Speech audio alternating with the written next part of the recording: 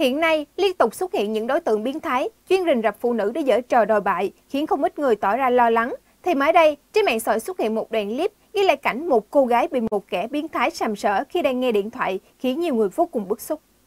Theo thông tin đăng tải, sự việc xảy ra tại khu dân cư phường Tân Phong, thành phố Biên Hòa, Đồng Nai. Hình ảnh ghi lại được cho thấy, khi đang đứng nghe điện thoại trước cửa nhà, cô gái bất ngờ bị một người đàn ông đi xe máy áp sát rồi đưa tay sờ vào vòng ba. Trước hành động của người đàn ông, cô gái tỏ ra vô cùng hoảng hốt. Tuy nhiên ngay sau đó, hắn đã nhanh chóng phóng xe bỏ đi. Sau khi được đăng tải, đoạn clip ghi lại sự việc đã lập tức nhận được sự quan tâm, chú ý từ phía cộng đồng mạng. Hầu hết mọi người đều lên tiếng chỉ trích hành động biến thái của người đàn ông này.